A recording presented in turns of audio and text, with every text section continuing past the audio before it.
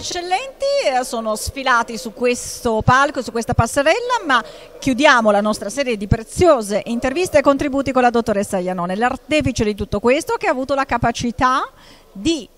trovare quest'anno un tema davvero appropriato, la misericordia e la solidarietà. Sì, grazie, è vero, è stata questa un'edizione speciale eh, perché la tematica, quella eh, il, a cui il premio si è ispirata e quindi la misericordia e quindi la solidarietà, la speranza per le periferie sociali e la coesione tra laici e religiosi. Questo è il nostro impegno oggi, quello di tutelare appunto la carità, la misericordia e quindi eh, essere vicini e eh, impegnarsi sempre di più a sostenere iniziative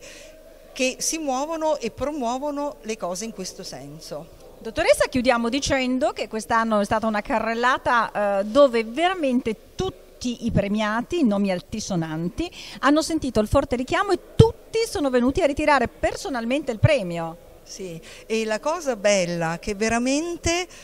la, tutti i servitori dello Stato, quindi abbiamo avuto dal prefetto Franco Gabrielli al comandante generale dell'Arma dei Carabinieri Tullio Del Sette, eh, all'avvocato generale di Stato della Procura della Repubblica Antonio Marini e così ad andare, moltissimi, insomma erano 12 le personalità, è stata un'edizione eccezionale e lavoreremo tutto l'anno, quindi il premio per tutto l'anno lavorerà su questo tema